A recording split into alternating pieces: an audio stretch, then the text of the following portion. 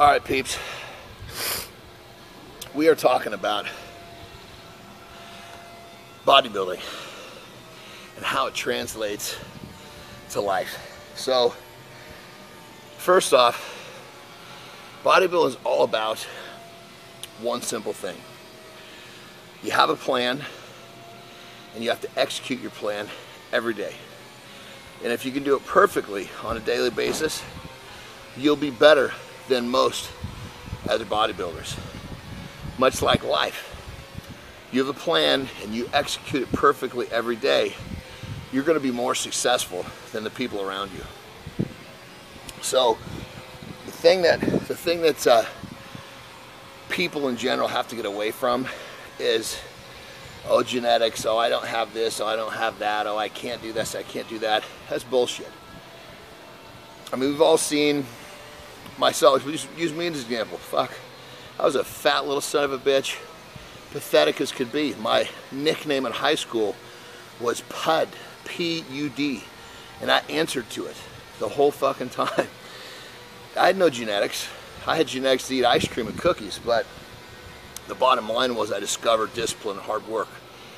Think about life is the same thing. How many times have you seen some idiot that doesn't seem to know how to do shit, but he discovers that if he repeats, he gets a process down and repeats that thing over and over and over perfectly, he becomes so fucking good at it, he becomes really, really a master at his craft, which then ultimately makes him successful, so on and so forth, wealthy, all that kind of good stuff. So, what I want you guys to realize is everybody has the same opportunity to, you know, pick something, something and, and learn to do it very well.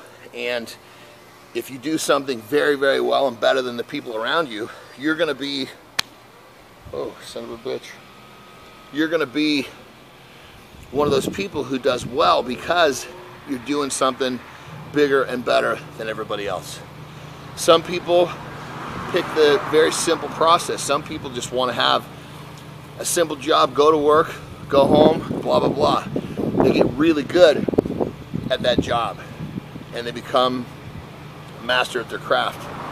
Other things are much more complex. Bodybuilding, going back to bodybuilding, there's a lot of shit you gotta know. There's a lot of shit you gotta execute. Once you learn it, and you figure out how to execute it daily, if you can do it perfectly every day, you're going to be better than most. So think of it like that. Break things down in more of a philosophical standpoint. Don't think of things as too complex and I can't and make excuses for yourself. Think, okay, this is what I want to do. What's the process? Break the process into little pieces. Master each part of the process and stick it back together. Master the whole thing and you're going to be really fucking good at it. And then you're going to reach your goals. You're going to become great. You're going to get recognition for what you do. Then you're going to be able to determine your own version of success. You know, when I was young, success to me was just money. Now success is financial freedom. Yes, I want to have the choice to do what I want to do because finances are holding me back. The biggest part for me is do I get up every day and do I want to get up and do what I'm going to do? You know, that's that for me that's success. And because, you know, here again, I still have a whopping case of dyslexia, but I've learned to do the things that I want to do in life really well. And because of that, it's allowed me to have success in, in my definition financial freedom, loving what I do every day, and you know that's that's the bottom line. So again, break it down. Think about it from a philosophical standpoint. Think about it from the process. Think about what you love to do, what's your passion. Break it down, master the little pieces, put the pieces together, become great at the whole process, and be able to repeat that process over and over and over better than anybody else. And you're going to have everything you want in life. Jon Andersen with a little more D.